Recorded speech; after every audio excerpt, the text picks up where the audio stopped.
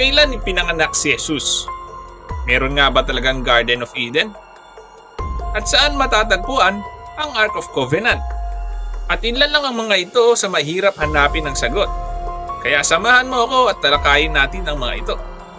Kaya kung bago ka pa lamang sa aming channel ay huwag mong kalimutang mag-subscribe at pindutin ang notification bell para updated ka sa mga kakaibang kwento every week.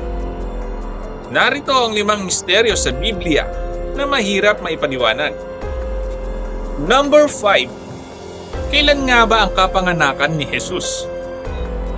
Kahit sa dami ng relihiyon na hindi naniniwala na si Jesus ay anak ng Diyos, subalit ayon sa mga dalubhasa na tunay na nabuhay si Jesus dito sa lupa. Kaya't maraming tao ang ginugugol para alamin ang buhay niya. Ngunit kahit sa Biblia ay hindi nabanggit kung kailan ipinanganak si Jesus. Marahil pwede nating ipagpalagay na ipinanganak si Jesus sa umpisang bahagi ng 1st century. Ngunit walang nakakaalam kahit ang mga Bible scholar ay hindi nila alam kung kailan ang tamang petsa ng kapanganakan ni Jesus. Number 4. Nasaan nga ba ang Ark of Covenant? Ayon sa libro ng Exodus, isa daw itong sisidlan na kahoy na balot sa ginto. At ayon sa libro ng Exodus, may nilalaman itong sampung utos na binigay ng Diyos kay Moises. Maraming mga nagsisilabasang kwento at sabi-sabi na nahanap na raw nila ito at narito ang mga pinaghihinalaan na kinalalagyan ng Ark of Covenant. Mount Nebu sa Jerusalem, South Africa at sa Zimbabwe. Number 3. Ang nawawalang aklat sa Biblia.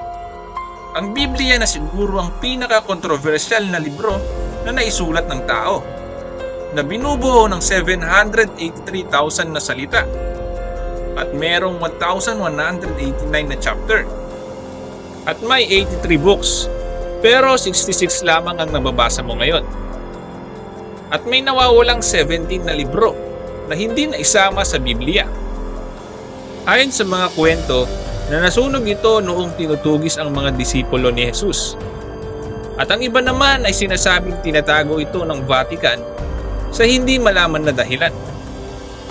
At ayon sa mga nakakarami, ay sinadyang inalis ito dahil tumataliwas daw ito sa pinakamasidhing adikain ng paniniwala ng mga Kristiyano. Nasa iyong kamay ang paghusga. Number 2. Mga nawawalang taon sa buhay ni Jesus na hindi na isulat sa Biblia. At isa pang pinagkakaguluhan ng maraming dalubhasa kung saan at ano ang kwento ni Jesus mula siya ay 12 years old hanggang abuti ng 30 years old. Hindi na isulat sa Biblia kung saan siya nagpunta. Ano ang kinahiligan niya, nagkasyota ba siya at saan siya tumira. At isa sa pinakasikat na kwento ay nanirahan daw si Jesus sa Kashmir, sa Japan, sa Great Britain at sa Judean Desert. Number 1 Totoo ba ang Garden of Eden? Maraming mga sikat na mathematician at scientist na nagsasabi na ang Garden of Eden ay ginamit lamang ng mga tao bilang katang-isip lamang. Subalit ayon sa mga Bible scholar, ang Garden of Eden ay nag-i-exist talaga dito sa ating mundo. Ayon sa mga Bible scholar, ang mga ebidensya ay sinasaad sa Biblia. Ayon sa aklat ng Genesis, na ang Garden of Eden daw ay matatagpuan sa lugar ng Ethiopia isang bansa na matatagpuan sa kontinente ng Afrika. At narito ang mga kasulatan na nagsasabi na nasa Ethiopia ang hardin ng Eden.